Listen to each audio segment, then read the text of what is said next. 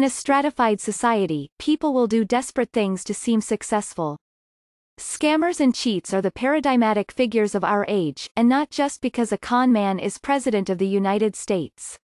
Again and again in recent years, people who've scaled the cultural heights have been revealed as audacious frauds. The systems and institutions that confer status in our society keep being exposed as Ponzi schemes. Grift is turning into our central national narrative. There are cons in every period. In the 2000s we had Enron, Bernie Madoff, and James Frey's pseudo-memoir A Million Little Pieces. But there's something distinct and era-defining about the current crop of high-profile scams.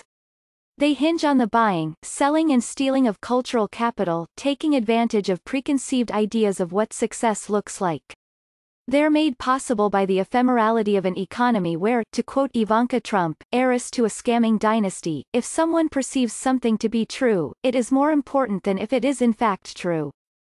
Elizabeth Holmes, founder of the biotech startup Theranos, raised hundreds of millions of dollars by styling herself as a beautiful distaff Steve Jobs, a Stanford dropout who promised to disrupt the medical field.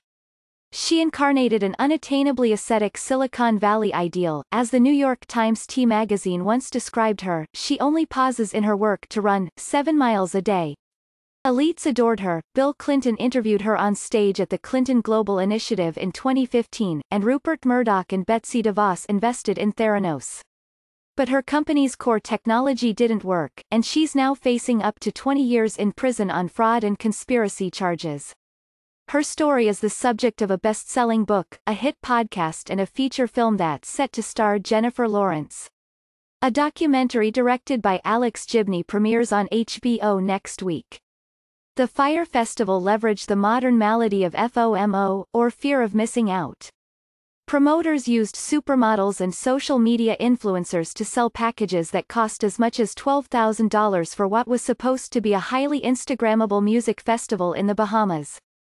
Attendees, expecting to show off pictures of themselves living like rock stars, arrived to find what looked like a soggy half-built refugee camp. The festival's co-founder, Billy McFarland, has since been sentenced to six years in prison by a judge who called him a serial fraudster. It's the subject of two recent documentaries. There are lots more. In a New Yorker piece last month, Dan Mallory, who wrote the best-selling thriller The Woman in the Window under the pseudonym A.J. Finn, was revealed to be a charming but highly manipulative fabulist who lied about having a PhD from Oxford, among other things.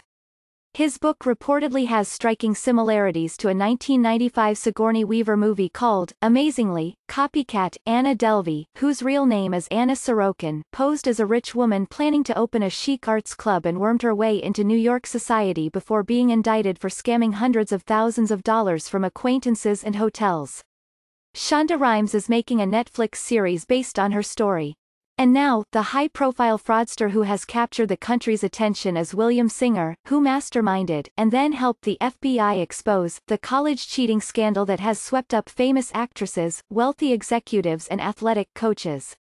Fittingly, it seems that Singer once aspired to make a reality TV show about the college admissions process, which he called, on a 2010 audition tape obtained by TMZ, a game. He recognized that the players aren't high school students, but rich parents who are competing against their friends. Singer described how parents would call him frantically on Sunday morning, after Saturday night dinner parties where they heard all about the accomplishments of their friends' kids. Among the many reasons this scandal is so fascinating and so maddening is that it reveals the college admissions process itself as something of a con.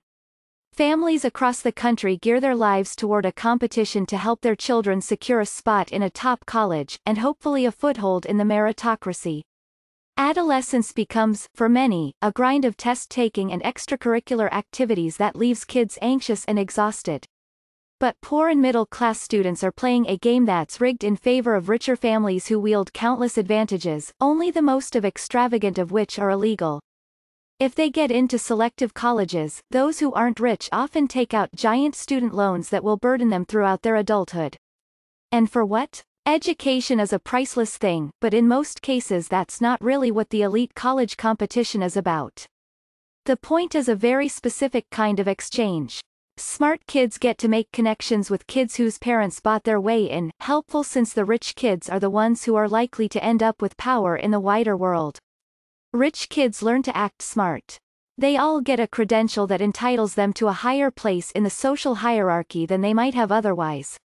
In a highly stratified country, social mobility can be a confidence game,